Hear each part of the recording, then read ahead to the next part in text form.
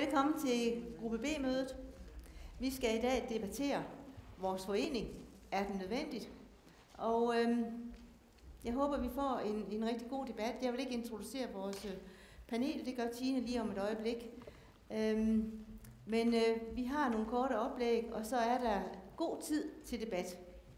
Og det håber jeg også, øh, I vil benytte jer af. Og øh, der vil være en mikrofon, der kommer løbende rundt. Den bliver ikke sådan kastet i hovedet på jer. I skal markere for at, at komme til ord. Men øh, ordet er i hvert fald frit, når I har hørt de her oplæg. Jeg vil ikke sige mere lige nu, men øh, give ordet til Tine, som vil guide os igennem den her times tid. Jamen, tak for det, Kirsten. Øh, jeg skulle hilse at sige fra sekretariatet, da vi øh, umiddelbart efter vores øh, gruppe B-møde går over i generalforsamling, hvor der også muligvis skal blive noget afstemning. De af jer, der ikke har fået afstemningssedler, kan gå ud og hente dem i sekretariatet. Jeg vil lige en hilsen til det. Og da det jo er en sag, der skal debatteres, så har Erna, som skal løbe rundt med mikrofonen her i den næste times tid, spurgt mig om, hvordan kan det være, at I altid sætter jer så langt op bagved som overhovedet muligt. Og det har jeg sagt til Erna, det er der helt sikkert nogle rigtig gode grunde til. Men hvis der nu ikke er det, så kunne det måske være en god idé at rykke lidt tættere ned, selvom I lige har fået installeret jer med kaffe og pakke nelliker og forskellige andre ting. Så hvis I har lyst til at hjælpe Erna, så træk ned, og I ved, I gerne vil op og have fat i den her mikrofon, så skal hun nok komme og hjælpe jer. Men som Kirsten sagde, så øh, skal vi debattere Danmarks Biblioteksforening. Hvad er det lige, vi får styrket ved at være samlet politikere og fagfolk? Hvorfor en fagspecifik og politisk forening i dag? Øh, vi kan selvfølgelig godt tale med os selv, men det er også meget sjovt at have nogen udefra kommende til at være med til den her debat. Og øh, vi har inviteret to personer, inklusiv os selv. Så oppe i panelet, der sidder Flemming Olsen, der til hverdag er kulturdirektør i Herlev, men han er også formand for Børne- og Kulturchefforeningen. Så er der Mogens Vestergaard, som udover at være formand for Bibliotekschefforeningen, også er chef for Roskilde Bibliotekerne. Og Kirsten Bol, der er mediechef for Aalborg Bibliotekerne, og som er vores anden faglige næstformand. De får 10 minutter hver til at holde deres oplæg om, hvad DB er godt for, og hvor vi kan bruge hinanden og styrke hinanden. Flemming, har du ikke lyst til at starte? Jeg starter.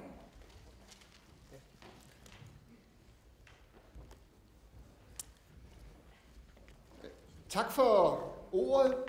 Tak for invitationen. Øh, jeg har det måske sådan, når jeg står her, at jeg er den, som er mindst medlem af foreningen. Eller familien. Eller hvad vi nu skal sige. Men jeg føler mig dog som en ven af familien. Og øh, det er derfor, jeg har sagt ja til at komme her i dag og prøve at give nogle ord på, sætte nogle ord på, hvorfor det er nødvendigt og hvorfor det er vigtigt at fastholde et fagligt, fagspecifikt perspektiv i en verden, som i høj grad er i forandring. Jeg øh, er formand for Børne- og Kulturchefforeningen. Børne- og Kulturchefforeningen er en forening af byråkrater, kan man sige. Øh, det er en forening af de øh, direktører og chefer, som arbejder inden for børne- og kulturområdet. Det vil sige, vi har ansvaret for dagtilbud, for skoler, for det børnesociale område. Så har vi ansvaret for hele kulturen og for fritidsområdet. Vi har i vores forening ikke nogen politisk repræsentation, som der er her i Danmarks Biblioteksforening. Øh, og vores øh, forening er heller ikke en faglig organisation, så det er ikke os, der forhandler ledernes ansættelsesforhold, lønforhold, overenskomstforhold med videre. Det vi har i fokus, det er i virkeligheden den faglighed, der ligger inden for vores områder og udviklingen af den faglighed. Og det er med det sigte, at øh, jeg vil prøve at sige noget om, hvorfor mener jeg, det er vigtigt i en tid, som i den grad er præget af omstillinger. Også omstillinger, som jo ikke mindst øh, har betydning for biblioteksområdet. I vores forening har vi ligesom to overordnede pejlemærker, som vi prøver at lægge ned over hele vores virke, foreningsvirke. Det ene pejlemærke, det handler om, at i det videnssamfund, som vi er kommet ind i, og som er i hastig udvikling, så stilles der nogle helt anderledes krav til de unge mennesker, som forlader folkeskolen, går videre i ungdomsuddannelse og skal ud på arbejdsmarkedet, end der gjorde, blev gjort for en generation siden. For ikke at tage den to generationer siden. Det har aldrig gået så stærkt med den udvikling. På mange måder er det en kæmpe udfordring at være ung i dag, at finde sin plads på hylderne. Der har vi en kæmpe opgave i forhold til at sikre, at de unge har tilstrækkelig viden, at der er tilstrækkelige kompetencer, at der sker tilstrækkelig læring. Men vi har det i virkeligheden også i forhold til hele voksenlivet. Fordi det er, virkeligheden er jo ikke sådan, at når man er kommet ud på arbejdsmarkedet, så bliver man på den samme arbejdsplads. Nej, der er kæmpe rotation, øh, og hele tiden nye udfordringer. Så begrebet livslang læring er også et begreb, vi interesserer os meget for. Det vil sige, at vi fokuserer på noget omkring viden og kompetence og læring, og nødvendigheden af, at vi kommer nogle niveauer op i Danmark. Det er helt afgørende i forhold til Danmarks fremtid. Det er helt afgørende til at sikre nogle gode vækstbetingelser, indholds- og livsbetingelser, både for den enkelte borger, og også for samfundet i sin helhed. Det er ligesom det ene felt, vi er meget fokuseret på. Det andet felt, vi er meget fokuseret på, det handler om fællesskaber. Nullerne har jo i høj grad været med til, hvad skal vi sige, at sætte individet på dagsordenen. What's in it for me? Ellers så går jeg min vej.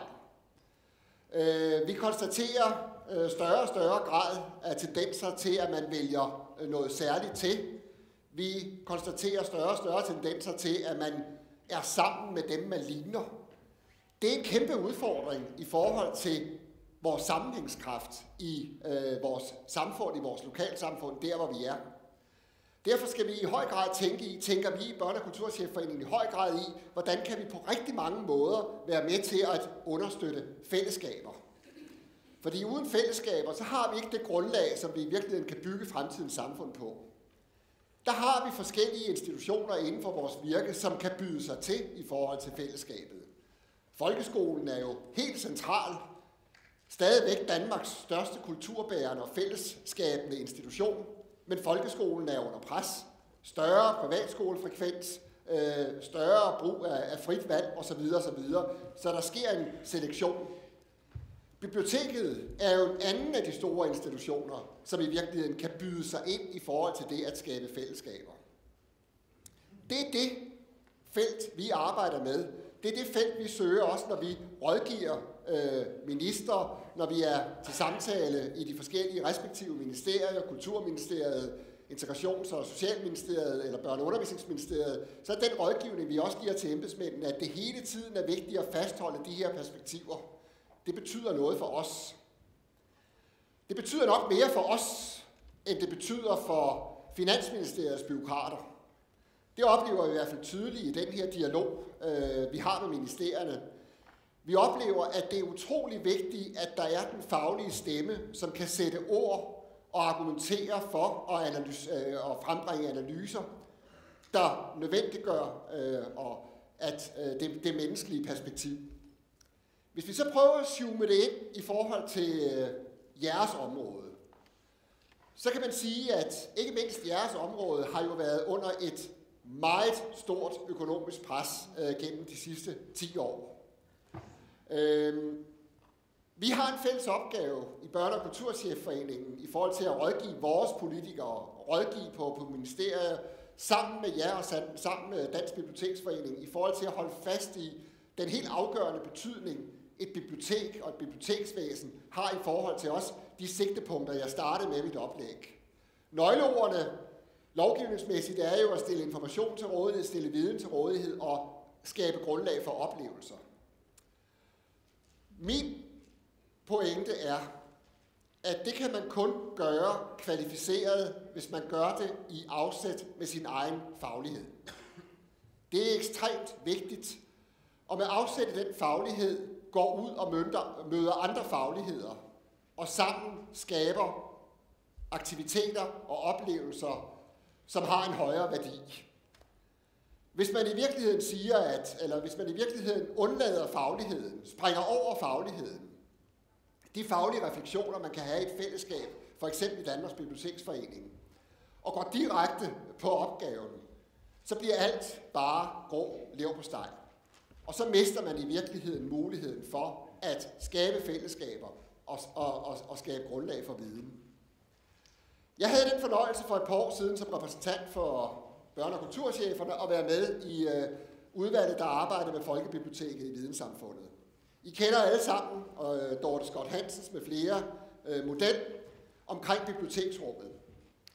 Denne model er jo god til at tænke i, hvad, hvad er det, fagligheden repræsenterer og rummer, og hvordan er det, den faglighed går ud og møder andre fagligheder, for at man kan lykkes med det øh, med, med, med, med modellen. Vi har læringsrummet som en del af biblioteket. Læringsrummet tager jo naturligvis afsæt i information og viden, men det tager jo også afsæt i et samarbejde med folkeskolerne. Det tager afsæt i et samarbejde med det, der sker i, øh, i øh, fritidsverdenen, i, i fritidsundervisningen. Det tager afsæt i, øh, i en række forskellige andre øh, fagligheder, professioner, som arbejder med at understøtte børn og voksnes læring, den livslange læring og det, der sker i skoleforløbet. Ved at tilbyde også biblioteket som en læringsarena, er der gode eksempler på, at biblioteket fanger nogen, som ikke bliver fanget i et mere formaliseret system.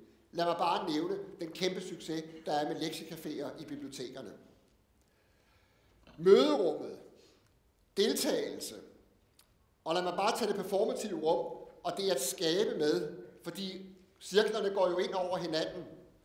Jamen der er vi over i den anden boldgade, som handler om det her med, som handler om det her med at få lejlighed til at møde nogle andre end dem, der lige præcis ligner en selv i et tredje rum. Der er biblioteket jo det unikke sted. Det er det sted, som i folkebevidstheden blandt borgerne i en kommune, jamen det opfattes som det neutrale sted, hvor forskellige kulturer og forskellige samfundsgrupper, hvor forskellige aldre kan komme og hver især øh, være og lære. Det, der så ligger i det performative rum, det er jo en understøttelse til at skabe nye møder. Det, at der foregår, skabes aktiviteter, meget gerne af borgere, for eksempel af unge mennesker ind i biblioteket, åbner lige pludselig øjnene hos nogle andre brugere i forhold til, jamen man tænker måske i virkeligheden anderledes hos de unge, end vi egentlig går og forestiller os, når vi læser aviserne og læser om bandekriminalitet og det ene og det andet. På den måde øh, er der mulighed for, at øh, biblioteket kan nuancere opfattelsen i lokalsamfundet, kan skabe nye forbindelser. Det kan bibliotekaren ikke gøre alene. Det skal bibliotekaren gøre sammen med andre. Det kan være kunstnere, det kan være forfattere, øh, det kan være performere, hvad ved jeg. Øh, der handler det jo igen om, at flere fagligheder mødes, men der er ikke nogen af faglighederne, der kan undværes. Vi bevæger os videre rundt i kompasset, kommer omkring innovation, og det er jo også en afgørende kompetence i forhold til øh, at kunne begå sig i øh, fremtidens samfund. Vanedyret har det ikke nemt, eller vanedyrene har det ikke nemt og får det sværere i fremtidens samfund. Det vil sige, at vi skal hele tiden understøttes i at kunne tænke på en anden måde, kunne skabe nye idéer. Også her kan biblioteket tilbyde oplevelser, som lige pludselig åbner op for nye måder at mødes med hinanden på, nye måder at øh, lære på. Min pointe med det er afslutningsvis, at hvis ikke der var en faglig forening, et fagligt rum, hvor man professionelt kan føre samtalen om, hvordan er det, vi udvikler vores faglige identitet, og hvordan er det, vi efterfølgende går ud og sammen med andre, der også er i den her faglige udviklingsproces, skaber nye løsninger, skaber differentierede løsninger. Hvis ikke, vi, hvis ikke man gør det, lykkes med det, så dør man. De lukkede øh, søjler, de lukkede institutioner, de vil langsomt udvandes. Derfor er en progressiv strategi helt afgørende nødvendig, men den progressive strategi må tage sit afsæt i solid viden og solid faglighed, og det kan en faglig forening være med til at understøtte i en tid, som i høj grad er præget af, at vi tænker på tværs, vi bryder siloer ned, vi tænker New Public Management osv. Og også i en tid, hvor vi må sige, at vi skal lykkes med de her opgaver, samtidig med, at vi er i et kæmpe økonomisk pres. Helt konkret, så har vi også samarbejdet med Bibliotekslederforeningen, fordi vi jo er en lederforening, har øh, møder nu og da, og vi har blandt andet sammen med Mogens drøftet behovet for, at vi i fællesskab får formuleret, hvordan er det, vi arbejder med en videnspolitik i kommunerne, som i virkeligheden tænker meget mere bredt. Eller jeg kan også sige det på en anden måde. Vi står for en kæmpe udfordring i kommunerne. Vi skal gennemføre en ny folkeskolereform. Folkeskolereformen, hvis den skal lykkes, sådan som den er tænkt, så skal alle fagligheder bidrage. Det bliver ikke kun lærerens opgave, det bliver også bibliotekarens opgave, lederen i dagtilbuddet og pædagogen osv. Og der kan vi være med til at befordre et samarbejde funderet i solid faglighed. Tak for det.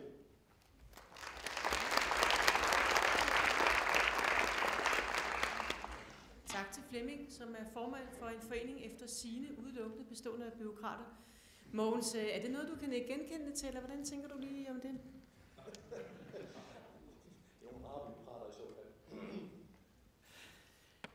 Tak for invitationen til at komme også og komme med min uforgribelige mening om øh, spørgsmålet derfor DB. Jeg synes jo, at titlen nærmest antyder svaret på det underspørgsmål, der også er, hvorfor giver det mening med en fagspecifik og politisk forening i en tid, hvor tendensen peger i retning af mere og mere samarbejde på tværs af sektorerne. Hvis man altså der erstatter det der hvorfor med det, at det giver mening, så har man ligesom også svaret på spørgsmålet, derfor har vi DB. Men det kan jo godt være, at det er lidt mere øh, nuanceret end som så. Fordi biblioteket er en sær størrelse i landskabet. For mig, der er det som rugbrød og ikke mindst kartofler. Det er sundt, det er nærende, det er basal kost, alle har et forhold til det. Fås i mange varianter, med og uden kerner, og det, det er rugbrødet. Masser af sorter, der kan moses, bages, koges, steges, bruges i forretter, hovedretter, desserter osv.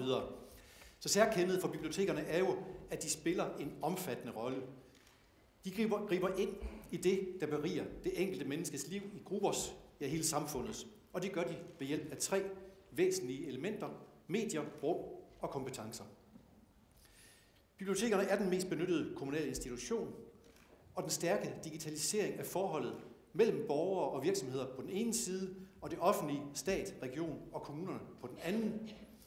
Den digitalisering har bevirket, at borgerne og biblioteket, men biblioteket mest, mere og mere også er kommunens og det offentliges ansigt over for borgerne.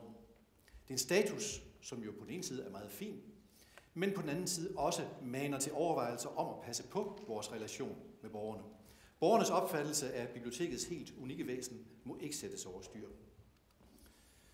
Bibliotekernes formål er bredt, vel nok det bredeste, man kan tænke sig, med oplysning, med uddannelse, med kultur, men det er også vanskeligt kommunikerbart.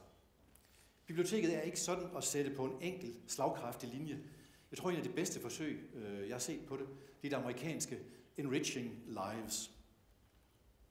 Men ligesom det var vigtigt at bringe kartoflen og rugbrødet tilbage på det nationale spisekort, så er der også et behov for, at man går i bræschen for noget så unikt og basalt som bibliotekerne, samfundets rugbrød og kartofler.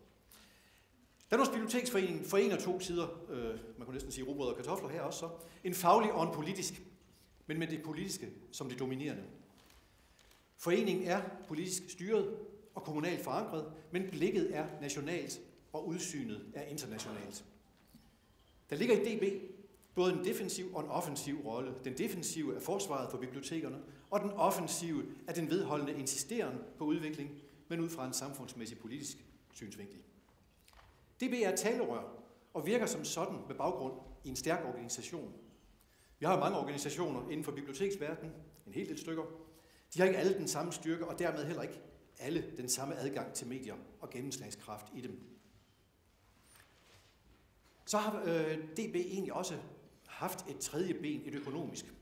DB var jo involveret i driften af de hedengangne, af de hedengangne selskaber, øh, Bibliotekscentralen og Indbindingscentralen. Øh, men det er jo så historie nu. Historisk set, hvis vi fortsætter i det spor, så samlede DB faktisk alle bibliotekskræfter, oprindeligt forskningsbiblioteker og folkebiblioteker, og både ledere og medarbejdere. Der var et interessefællesskab. Politisk var DB en god platform for de politikere, der ville bidrage til udviklingen af velfærdssamfundet. Og øh, de gode ben i bestyrelsen med videre gav måske også et ekstra lille incitament til at engagere sig i DB. Det kan man ikke udelukke. Der kom i 70'erne en periode med udskillelse, hvor den en del efter den anden frigjorde sig. Der kom så at sige konkurrence på det faglige område, for eksempel via Bibliotekschefforeningen, men også øh, for eksempel via Bibliotekarforbundet, som jo nok skilte sig ud som fagforening, men som i høj grad også profilerede sig på synspunkter på bibliotekernes faglige udvikling. I den konkurrence, der formåede DB faktisk at fastholde det direkte politiske engagement i bibliotekssektoren.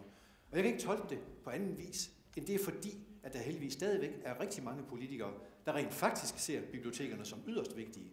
Så vigtige, at man gerne vil engagere sig i Danmarks Biblioteksforening. Man kan så lige en passant bemærke, at det er ærgerligt, at engagementet har medført sådan internt inden for kulturområdet, at bibliotekerne er blevet noget hårdere ramt end de øvrige kulturinstitutioner. Når man ser på kulturområdet som helhed, så er det jo ikke blevet beskåret ekstremt meget relativt set i forhold til andre. Så det kan undre lidt, men øh, det er jo så sådan en sidebemærkning. Når politikerne holder fast i DB, så må det ske ud fra en betragtning om, at der kommer noget igen på en eller anden måde. Og det er ikke noget med rabatter i en indkøbsforening eller den slags der. Jeg tror, at det skyldes, at man får den ufiltrerede information, og dermed et dybere kendskab til området.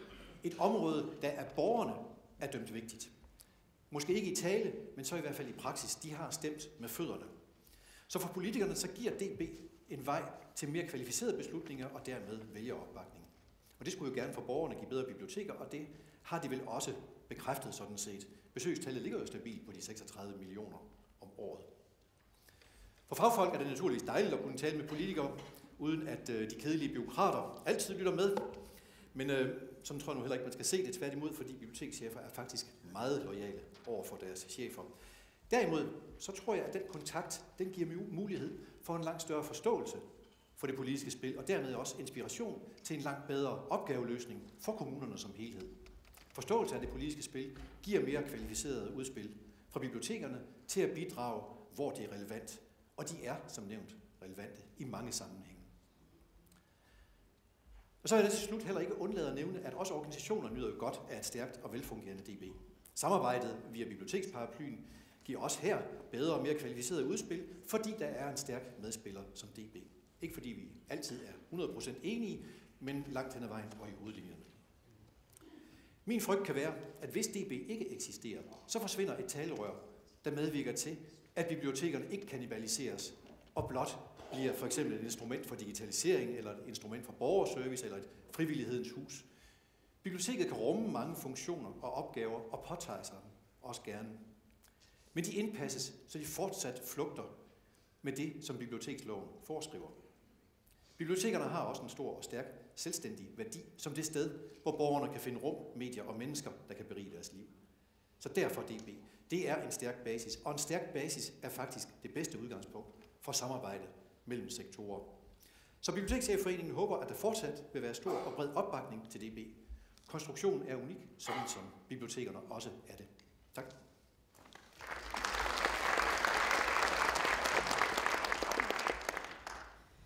Tak for det, Mogens.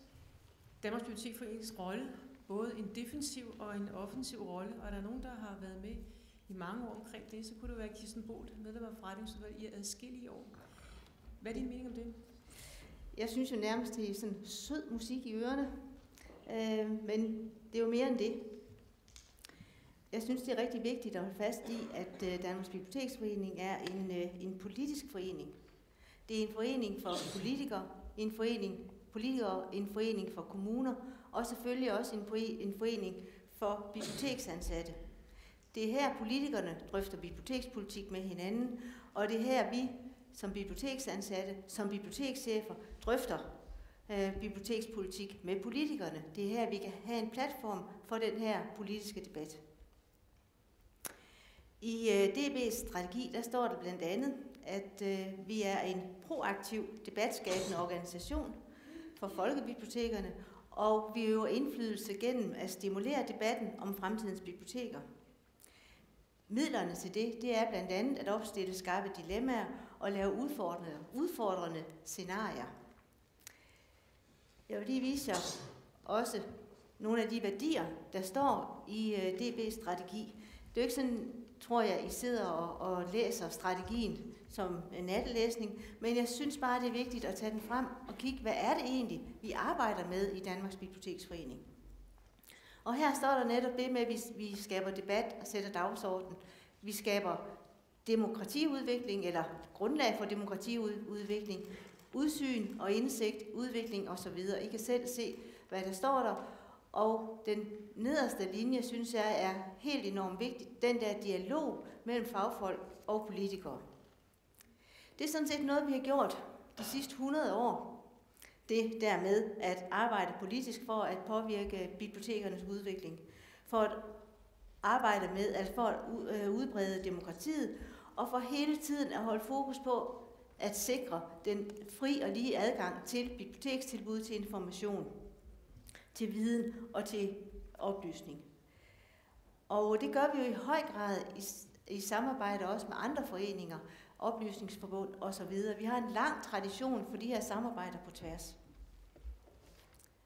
Nu er det ikke fordi, at jeg vil øh, bruge en hel masse tid på strategien. Jeg har bare lyst til at, øh, at vise jer det, der står i vores arbejdsplan for 2013. Nogle af de elementer, der ligger der, og det øh, har jeg måske også læst, for det ligger også i de mapper, I har fået ud.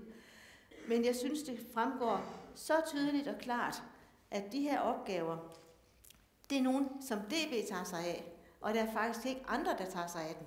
Så lige præcis derfor er det min klare opfattelse, at DB er meget vigtig og meget nødvendig, fordi det er os, der er bibliotekernes stemme, det er os, der sætter bibliotekspolitikken på dagsordenen. Det er der ikke ret mange andre, der gør. Og det er også her, vi kan se, at vi arbejder som en politisk forening. Vi sætter den der bibliotekspolitiske dagsorden. Og jeg kan jo altså ikke se, at der er andre foreninger, der gør det. Og der er slet ikke, som øh, også når det sker i et samarbejde mellem fagfolk og politikere. Nu har jeg rejst rundt i det ganske land her i, på Danmark og mødt rigtig mange øh, kommunalpolitikere og snakket med rigtig mange øh, kulturudvalg. Og vi har selvfølgelig snakket om, jamen, hvad sker der i kommunerne, hvad sker der på biblioteksområdet, men vi har selvfølgelig også snakket om, hvad mener I om DB? Og flere gange er det blevet formuleret, hvad DB er og hvad DB kan. Og øh, en politiker har formuleret det sådan her, at DB skal løfte det, som vi i en enkelt kommune ikke kan løfte alene. DB skal være det nationale talerør, samle det op, der foregår i kommunerne, de problemstillinger, der er, og sætte dem op til en national debat, eller tage det op i forhold til øh, øh, regering, KL osv. Altså, og det er også sådan, jeg ser DB, vi skal bare tage de fælles øh, biblioteksinteresser. Vi skal gå ind og løfte bibliotekssagen op på et nationalt plan. Vi skal arbejde i forhold til KL og til Folketing, og så sætte gang i den der debat om bibliotekerne.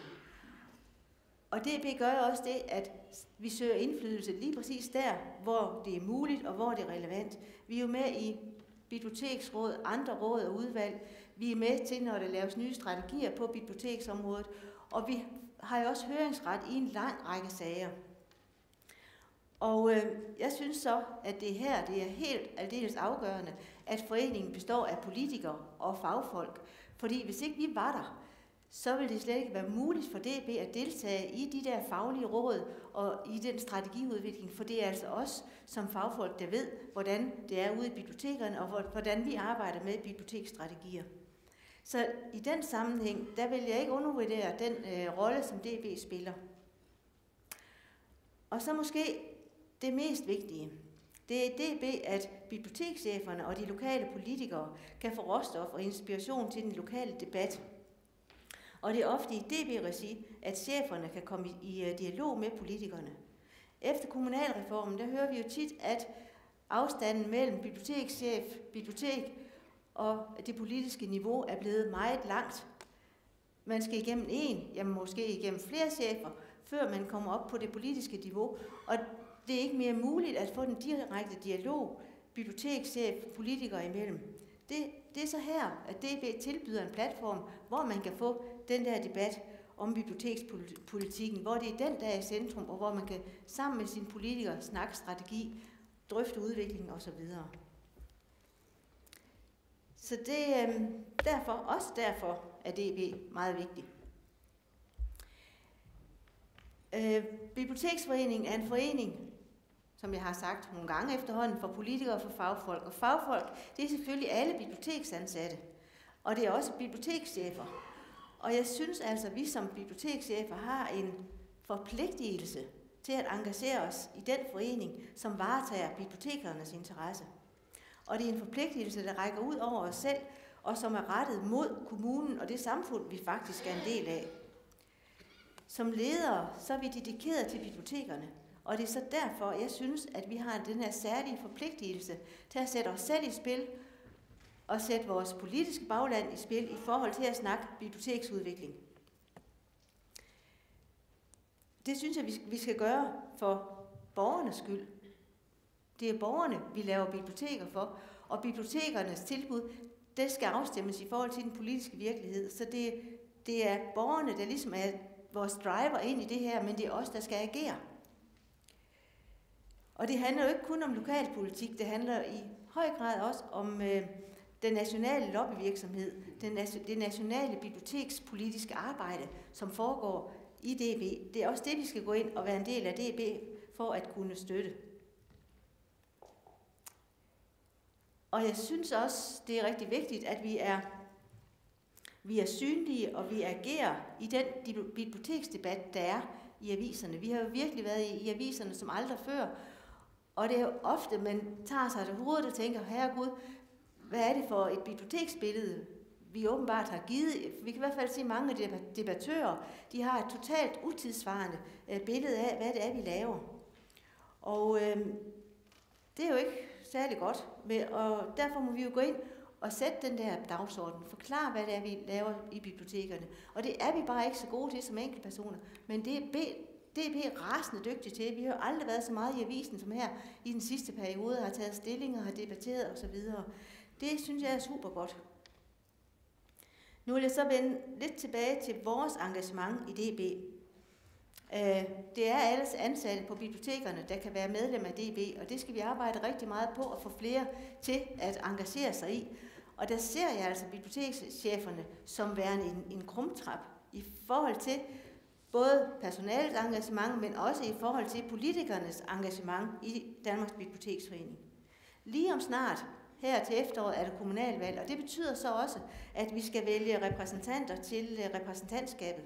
Gruppe B, vi skal vælge hen i januar måned i, til næste år. Der skal vælges en ny faglig næstformand, der skal vælges repræsentanter til forretningsudvalget og til de andre dele af DB's organisation, hvor vi som gruppe B har nogle, øh, nogle poster. Og det er bare så vigtigt, at vi får nogle gode kolleger, der går ind i det her arbejde.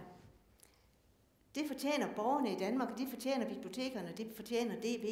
Vi skal simpelthen kigge os omkring, så vi kan få sat et rigtig stærkt hold, der kan være gruppe B, biblioteks, de biblioteksansattes repræsentanter ind i DB's repræsentantskab. Så snak lige lidt med jer selv. Er det ikke lige noget for jer at gå ind i repræsentantskabet? Kig jer rundt. Var der nogle kolleger? Var der nogle unge kolleger? Vi snakker meget om det her generationsskifte, og nu er det bare ligesom på tide, vi gør noget ved det. Vi er her endnu, vi har rigtig lang tid nu, men alligevel, vi, det var aldrig. Så er vi på vej ud, og der skal en ny, ung generation ind, der tager det her ansvar, som engagerer sig i den politiske debat, bibliotekspolitiske debat. Og det er vores ansvar. Vi må virkelig ud af hullerne her. Og det er jo ikke bare lige noget, man kan gå ind i, altså gå ind i Danmarks Biblioteksforening. Man skal have et overblik, man skal have nogle ambitioner, man skal have en gennemslagskraft for at få en stemme ind i Danmarks Biblioteksforening. Så det skal være et rigtig stærkt hold, vi får sat. Så brug lige det næste kvart år til at tage en alvorlig samtale med jer selv, øh, snak med øh, nogle kolleger og opfordre øh, til at gå ind i repræsentantskabet. Fortæl, hvad DB er for en organisation, hvor vigtig en organisation det er. Øh, vi skal skubbe, og vi skal mase. Vi skal arbejde med det her. Øh, det er vigtigt, at øh, vi har DB som forening. Det er vigtigt, at vi har en forening, øh, hvor vi har dialogen med politikerne. Det er vigtigt, at vi har en forening, der sætter den øh, bibliotekspolitiske dagsorden, ikke i, kun i kommunerne, men også på nationalt plan. Så svaret, det har jeg måske regnet ud. Men øh, ja, det er knaldhamrende vigtigt med en øh, Danmarks Biblioteksforening. Og det er min helt klare forventning, at vi giver den gas her hen over efteråret. Vi skal bare have sat et stærkt hold. Vi skal have en stærk stemme ind i DB. Så velkommen til arbejdet.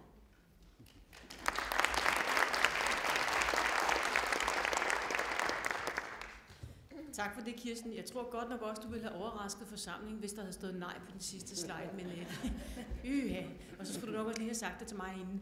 Nu er det så jeres tur til at øh, debattere. Det kan jo godt være, at I efter denne opsang fra Kirsten, som øh, både fik sagt noget om jeres alder og et eller andet med næste generation, og alle mulige forskellige andre ting, også fik sagt, at øh, DB gør noget, andre ikke gør. Hvis det virkelig er rigtigt, så kunne det jo være interessant at høre fra jer. Hvad tænker I, når I har hørt de her tre oplæg? Det er sådan, så Erna skulle rende rundt med en mikrofon. Er det ikke rigtigt? Og Erna har tænkt sig at spænde op og ned af rækkerne. Nu er lyssætningen sådan, at jeg kan sådan dunkelt se, at der er en masse folk herude. Så hvis jeg også vil være venlig at fortælle, hvad I hedder, så vil det være rigtig, rigtig skønt. Erna, jeg tror, du skal løbe herned først, fordi jeg kan se, at Mona sidder på første række og vifter.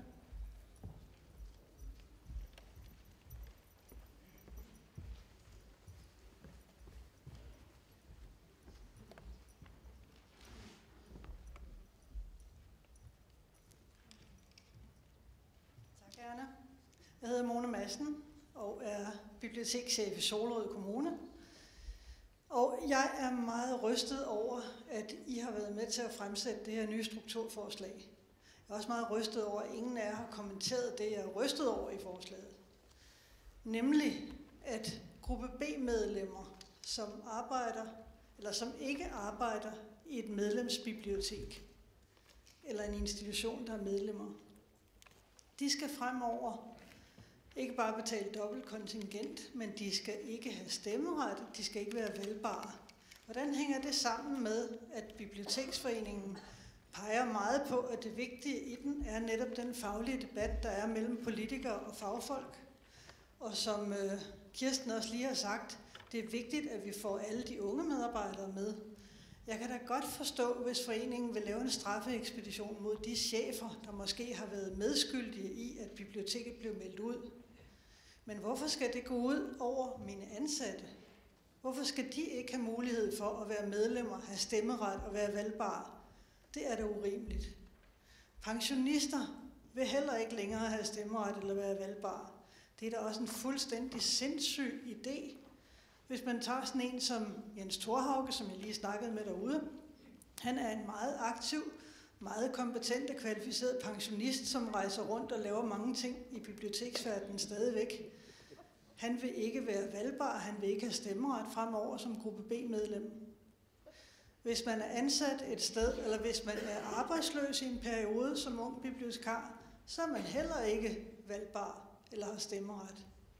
Det er et fuldstændig uhyrligt forslag, som jeg ikke forstår, at I kan gå med til. Og det fører til, at jeg inde på den store generalforsamling vil anbefale, at man stemmer forslaget ned. Der er flere ting, jeg også er imod, men det her det er det vigtigste i den her sammenhæng. Tak.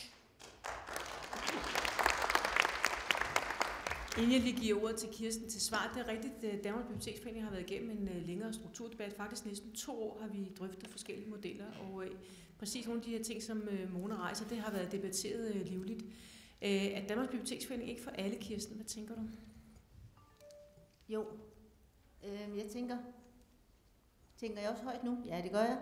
Øhm, jeg forstår virkelig godt dit indlæg, Mona, og det er, som Tine siger, noget, vi har drøftet, vi har vendt det rigtig mange gange, og har landet her, fordi Biblioteksforeningen er en kommunernes forening.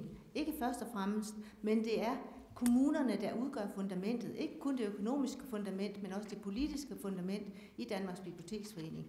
Og det er jo ikke en, en vendetta mod øh, kommuner, der har meldt sig ud, og så bibliotekschefen meldt sig ind. Det er jo fuldstændig legitimt, at, at det foregår, at man som bibliotekschef er medlem, selvom kommunen ikke er medlem. Men vi har valgt at tage den her lave den her streg for at tydeliggøre, at medlemskommuner har fordele, som ikke andre har. Og det går så ud over gruppe B, ja.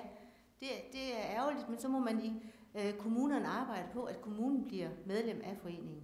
Men det er da helt åbenbart, at vi skal have den debat. Og du behøver ikke være rystet over, at vi ikke har taget det op, fordi temaet for mødet er ikke nødvendigvis struktur, men et, har et andet tema. Men netop derfor har vi også åbnet for, at vi kan debattere generalforsamling, beretning osv. her i den sidste tid. Så må der være andre markeringer. Jeg kigger lige ud i salen.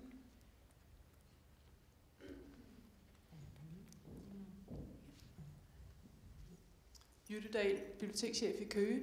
Øh, jeg vil godt øh, opfordrer jeg til at, at tænke på, når nu der har været kommunalvalg, og så meget hurtigt få noget information ud til de nyvalgte politikere. Der, I går morges, der hørte vi jo noget om den der lemmingeffekt, og hvordan man meget øh, følger, hvad gør de andre i kulturudvalget. Det vil, så hvis man er så, hvad skal man sige, sidder i en situation, hvor man har nogle politikere, som ikke er voldsomt tiltrukket af det, som DB kan tilbyde, så er det rigtig vigtigt, at der meget hurtigt bliver givet mulighed for de nyvalgte politikere til selv at tage stilling til øh, på en kortfattet og meget appellerende måde, at I skal være aktive på det her felt, i stedet for at lytte til, til deres politikere og kolleger om, at det her noget, vi skal bruge vores sparsomme tid på. Så det skulle være en opfordring herfra. det. Og så kan jeg se, at Lone Knakkergaard har fået Ja, sin... Lone Knargaard Vejle. Og det var faktisk lidt i samme boldgade, fordi jeg synes, Kirsten har en vigtig pointe i, at vi på B-siden inspirerer og animerer vores øh, kolleger øh, til at være aktive i Danmarks Biblioteksforening. Men jeg tror faktisk også, at vi spiller en rolle i forhold til, nu var det de nyvalgte politikere, vi skal have fokus på her, fordi jeg tror, øh, selvfølgelig er Danmarks Biblioteksforening øh, vigtig, og der er politisk øh, opbakning til det, og politisk øh, kan vi øh, inspirere øh, vores politikere til at deltage, men det er også vigtigt, at vi som biblioteksansatte i kommunerne er med til at øh, fremme øh, forståelsen for, øh, at det er vigtigt, at man også politisk engagerer sig i foreningen. Tak for det. Martin, var det en hånd? Og så Jørgen først. Det er Jørgen Bartoli, biblioteks- og borgercenterchef fra Skanderborg. Det er en replik til Mona. Jeg, jeg forstår sådan set godt, hvad det er, øh, der er dine indvendinger. Jeg synes også, øh, du har ret i, at det burde jo egentlig være foreningens objektive interesse, at så mange øh, bliver medlem af den som muligt. Men når jeg hører på det, øh, Kirsten Thor siger, så må jeg give hende ret i hele parken. Alt, hvad hun siger, det er vigtigt. Men der er faktisk kun én ting i Danmarks Biblioteksforening, som Danmarks Biblioteksforening er til for, og som de har den eksklusive adgang til. Det er dialogen mellem politikere og, og embedsmænd. Alt det andet leveres i lige så gode, eller næsten lige så gode, eller bedre udgaver af andre foreninger øh, Hmm. inden for området. Derfor er det vigtigt for Danmarks Biblioteksforening at fastholde, at det er kommunerne, der er medlem, og derfor skal der altså være en mærkbar med, med forskel på, om man arbejder i en kommune, der har valgt at være medlem, eller i en kommune, der ikke har valgt at være medlem. Og jeg synes igen, jeg vil fremhæve, at øh, det er den dialog med politikerne, der er vigtig. Den er utrolig væsentlig for os som fagfolk at kunne tage en øh, diskussion med nogle politikere på et tidspunkt, hvor vi ikke tvinger dem til at øh, have bevillinger i baghovedet, og hvor vi selv kan udtrykke os frit. Det er der, vi får afprøvet vores argumenter, om de dur i en større sammenhæng. Det er faktisk, for nu igen at vende tilbage til Hendrix i går, det er vores mulighed for at føre en kvalificeret samtale, uden for det ekorum, som vi ellers færdes i, når vi øh, snakker med vores fagfolk. Så derfor er den funktion, at man blander fagfolk og politikere, så vigtig, at jeg synes, det må træde øh, forud for det ønske, man kunne have om, at så mange biblioteksfolk som overhovedet muligt er medlem af foreningen. Okay. Så tror jeg, det er Martin. Ja, altså jeg, jeg- er også øh, enig med, øh, med Monas øh, kritik, det må jeg sige. Altså der, der, der tænker jeg, altså vi er jo så tilbøjelige til at tage udgangspunkt i vores egen historik. Men øh, da jeg blev biblioteksleder i IKAST i, i sin tid, der havde IKAST Kommune meldt sig ud af Danmarks Biblioteksforening nogle for år forinden, og jeg var meget oprørt over. Det lagde jeg aldrig nogensinde skjul på, øh, hvilken dumhed der, der var bag sådan en beslutning. Og lidt i trods af, hvad man sige, så meldte jeg mig ind som personlig medlem og, og blev faktisk, sådan som jeg selv opfatter det, en ambassadør for Biblioteksforeningen i byrådet, en spion i, i Kærlighedens Hus. Og det, det lykkedes så efter nogle år at, at overbevise øh, kommunen om, at, at vi skulle være medlemmer af Danmarks Biblioteksforening igen. Først kom det i bibliotekets budget, men takket være kommunesammenlægningen i syv, så blev den rykket over til, til, til kommunen. Så jeg synes faktisk, det, øh, jeg mener, det, Altså det er et problem. Det er, det er rigtigt, det er sagt, at bibliotekschefen spiller en overordentlig stor rolle, både dårligt og, og godt. Altså jeg, jeg er ikke i tvivl om, at der er nogle øh, bibliotekschefer, som bærer en væsentlig del af, af ansvaret for, at der er røget nogle medlemskaber. Det er dybt beklageligt, og det, det er noget, man bør virkelig være opmærksom på, øh, at de der bibliotekschefer øh, godt må ja, tænke sig om et par gange, eller spare med nogle kolleger, der, der er medlem af Danmarks Biblioteksforening, ud fra alle de gode argumenter, der er her. Men jeg, jeg, jeg, jeg synes, det er et problem i forhold til, at, at en biblioteksleder, kan, der, der, der i modsætning til, til de politikere, han vedkommende refererer til, øh, bliver, bliver stikket lidt i argumentation og, og til fordel for en, en genindmeldelse eller et medlem af Danmarks Biblioteksforening. Det, det, det synes jeg er et problem. Der, der kan ryge noget af motivationen i, i den mistillid, der på en måde også ligger i det. Det vil Kirsten gerne lige svare på. Øhm, jeg vil gerne lige understrege, at der ligger ikke nogen mistillid i det her oplæg. Det handler ene og alene om at, at, at markere en stor forskel på medlemskommuner og ikke medlemskommuner. Det har været vores mission ind i det her. Øhm, og jeg synes, at det, jeg synes, det er rigtig vigtigt, at vi får den her debat.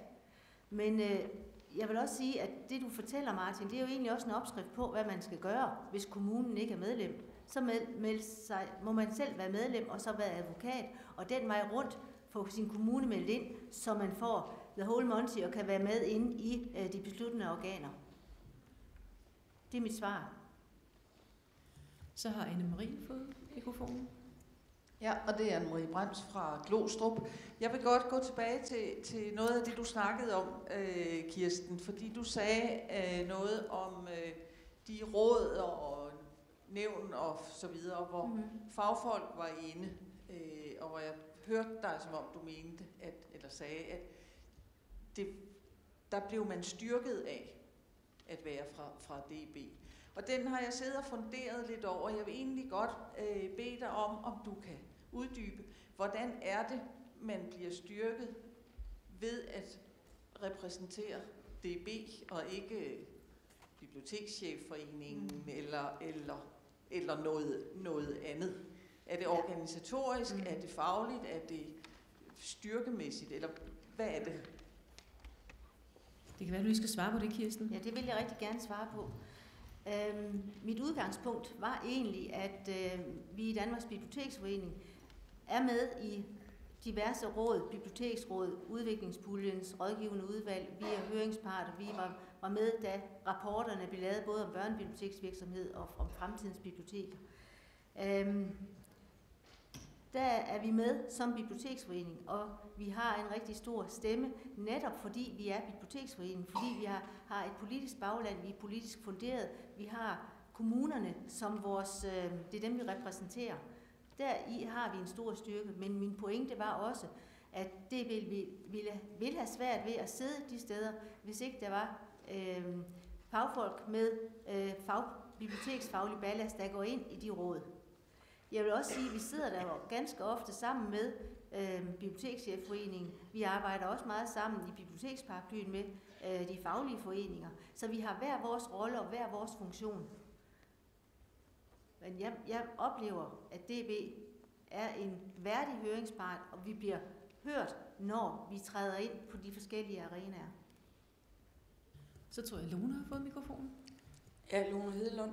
Øh, jeg var meget glad for faktisk i de tre oplæg, der var, at det blev nedtonet omkring det med at være bibliotekschefer i, i øh, Danmarks Biblioteksforening. Jeg synes, det er utrolig vigtigt. Jeg er faktisk enig med, med Mona i det her med, at det her det er, en, det er en faglig, det er en politisk og en faglig øh, forening. Og derfor er det også vigtigt, at der er med, med gruppe B-medlemmer, som ikke er bibliotekschefer, som sidder i øh, repræsentantskabet. Og det er også vigtigt, at der sidder øh, øh, folk, som er medlemmer, som man kan jo godt være arbejde i en kommune, hvor både øh, øh politikerne og så bibliotekschefen har besluttet, at man ikke vil være medlem, mm. men at du faktisk i det generationsskifte, som Kirsten snakker om, der kan jo sidde nogle folk, som er meget interesserede i at indgå i, i, øh, i Danmarks Biblioteksforening, og det kan man så ikke. Jo, man kan betale, men man har ikke stemmeret, man har faktisk kun en, øh, man kan måske udtale sig, ikke også? Men jeg synes, det er rigtig, rigtig vigtigt, at vi får en forening, hvor alle kan være medlem.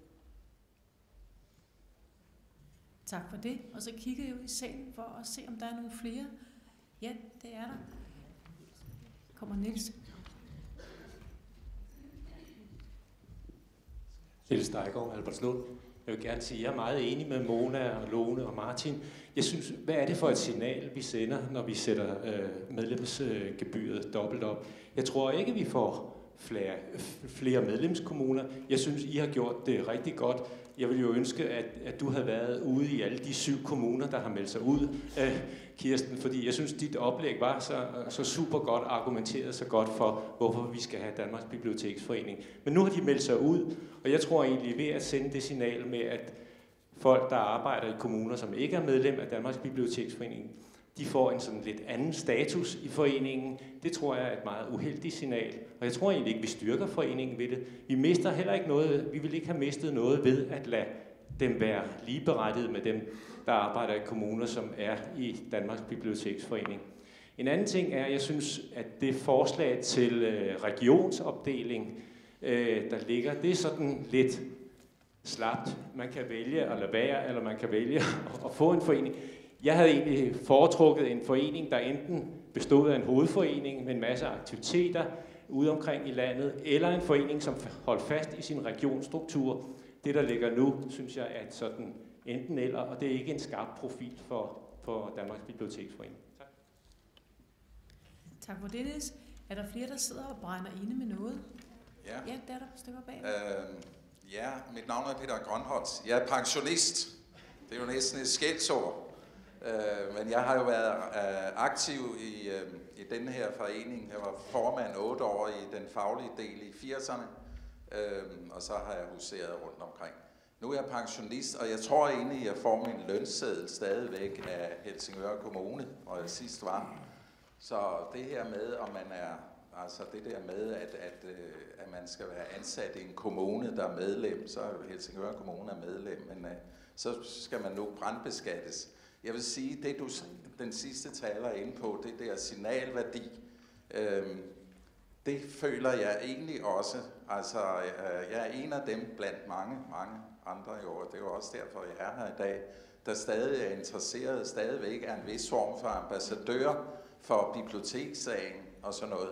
Derfor er det har Mona og andre helt ret i, at det er et dårligt, dårligt signal. Jeg kan høre på jer, at I også har diskuteret det, det er jeg helt med på. Jeg er også enig i, det kommunernes forening. Men samtidig har vi jo altid lagt vægt på, det gør I også, at der er de faglige øh, øh folk med også, at det er netop den dialog, som jo er desværre, øh, må man konstatere nu, er blevet så øh, øh mere vanskelig ude i kommunerne, fordi der jo er 3-4 led mellem en bibliotekschef og det politiske niveau. Men altså, jeg vil advare øh, mod at gennemføre det her, og jeg synes, at I skulle finde en mere, altså vi lever i et land, hvor man går til forlisinstitutionen og så videre, at, øh, at I finder en eller anden øh, formulering, som man egentlig ikke føler, man efter et øh, langt arbejdsliv har arbejdet en masse for den her sag, og, og synes, det var rigtig godt og og så videre, og så føler man lidt som signal, det her, hvad nu, hvad søren er det, der sker? Altså, jeg er ikke tilknyttet en kommune mere end på lønsedlen, som jeg siger, den kommer altså selv som pension stadigvæk fra en kommune, øh, så ved jeg ellers ikke, hvor pengene kommer fra. Men, øh, men øh, det var bare et slag for det. Det er et problem. Jeg er bange for, at det er en dårlig idé, og det er et dårligt signal at sende ud. Ja. Tak for det. Om DB skal i forlisen, det ved vi ikke. Lige nu står der en masse politikere og venter, men jeg synes lige, vi skal have Michelle til lige at komme med et par kommentarer. Du har jo siddet og lyttet her til debatten, og du vil gerne lige sige noget. Ja, det er mere teknisk karakter. Det politiske har jeg ikke forstand på. Men jeg vil sige, at det, der lægges op til i de her vedtægter, er ikke, at man vedtager en kontingent. Fordi så skal man lave vedtægterne om, hver gang man skal ændre kontingentstørrelsen. Der er nogle intentioner lagt ind i det fra den politiske bestyrelse, hvor man gerne vil have forhøjet kontingent for dem, der ikke arbejder, eller dem, der arbejder i en ikke-medlemskommune.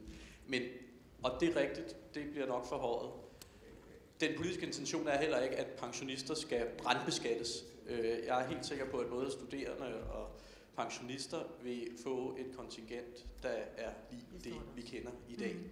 Der bliver hvert år lavet et takstblad på, hvad skal kommuner betale, hvad skal de forskellige kategorier medlemmer betale. Så det er der ikke tale om. Og der er ikke tale om at ekskludere nogen. Alle kan melde sig ind. Men der er forskel i de rettigheder, man kan opnå afhængig af ens arbejdssted. Og det er jo her, man så politisk kan gå ind og presse sit arbejdssted til at sige, godt klar over, hvad vi kan få ud af at være med, også i forhold til, hvad jeg skal betale for at deltage. Så det, det, det er nogle af de intentioner, men, men, men prisen, det er altså noget, der bliver vedtaget hvert år af et repræsentantskab. Tak skal du have. Og nu bliver dørene nærmest presset. Jeg synes alligevel, at vi skal sige tak til panelet. Det er ikke alle, der er blevet slidt lige meget på i panelet, men tak til Mogens og Flemming og Kirsten.